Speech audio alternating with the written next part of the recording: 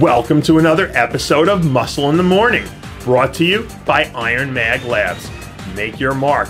I'm your host, Dave Palumbo, and I'm here to bring you all the latest news in the world of bodybuilding and fitness. It's Wednesday, August 19th, 2015, and let's get to it. Any skinny guy with an appetite of a nine year old girl can walk around sporting a decent set of abs, but you don't earn a shirt stretching set of traps without slinging some serious weight. Last week, our friend Roman Fritz released some new training footage from a recent shoulder training session, where we see the German freakazoid getting down and dirty with shrugs as he adds more pro quality mass to his upper body. Fritz has the work ethic and discipline to turn into a top level pro, and if he keeps training with this insane level of intensity, his time at the top is going to come much sooner than later. It looks like Nick Trigili is ready to make a major splash in his upcoming pro debut. New photos have surfaced of Trigili looking immensely impressive, only a few weeks out from stepping onto an IFBB stage for the first time at the Europa Atlantic City Pro. From what we can see, Trigili looks to have already surpassed the level of conditioning we saw from him at this NPC USA victory, and he's without a doubt added enough size to be a real factor in any lineup. As we've seen from a strong rookie class already this year, the right athlete in the right lineup can step right in and make an immediate impact. It looks like Zoa Linsey will be bringing her talents to the great state of Texas for the upcoming San Antonio Wings of Strength. Linsey released some progress photos recently showing off a very tight yet slightly downsized look compared to what we've seen from her in the past. When it comes to shape and structure, Linsey's genetic gifts rank right up there with anyone.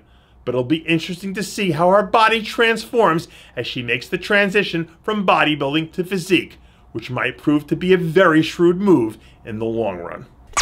What do you do if you've just won your first pro contest and qualified for your first Olympia all in the same weekend?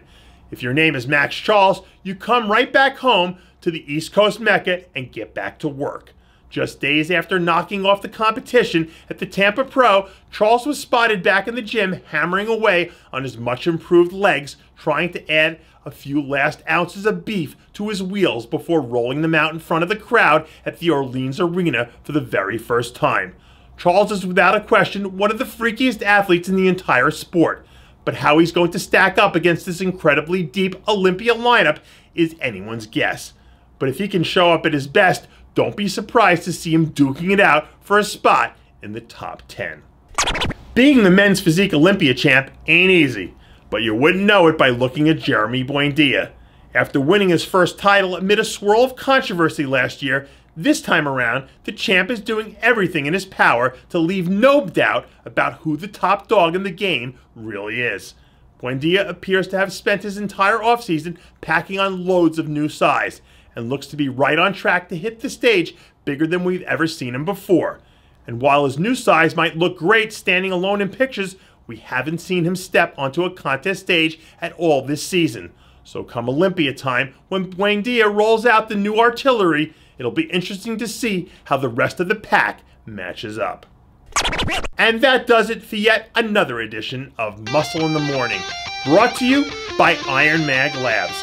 Make your mark. Check out ironmaglabs.com today. I'm your host, Dave Palumbo, reminding you to always be true to your passions and make sure to follow us on Twitter, Facebook, and Instagram.